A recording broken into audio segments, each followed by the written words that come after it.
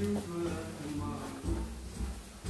other words, hold my hand. Is this a repeat of Monday or what?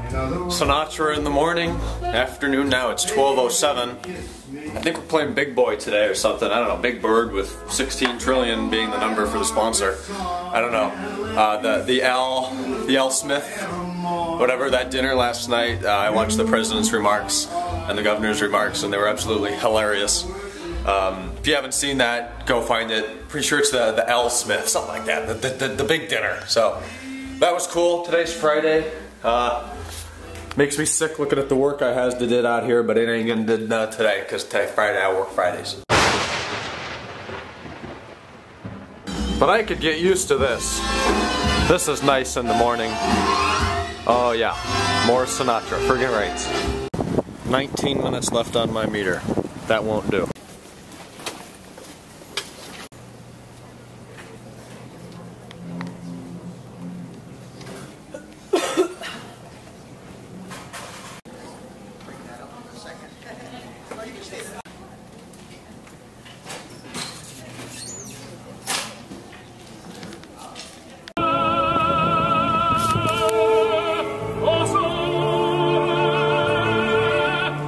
Friday.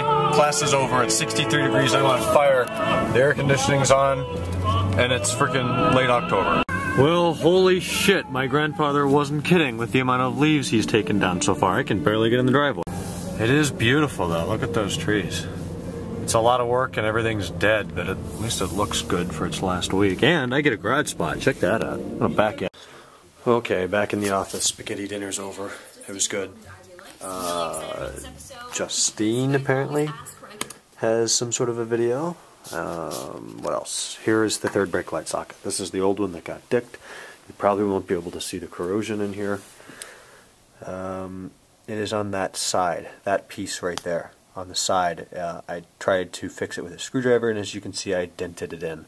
And the bottom's not really that clean either, but uh, that is replaced and now working very well. So this can go in the basement in my huge box of parts. And I'm actually thinking about making an E39 source video detailing all of the extra parts that I have. Some of them are still good. In fact, some of them are perfect. Other ones I would simply give away if somebody didn't have a shift knob or something and they just wanted something there, I would give them the part. Here are my OEM tail lights in my aftermarket tail or tail headlights. Uh, OEM, I can't do this. OEM headlights in the aftermarket headlights box. Those are in there.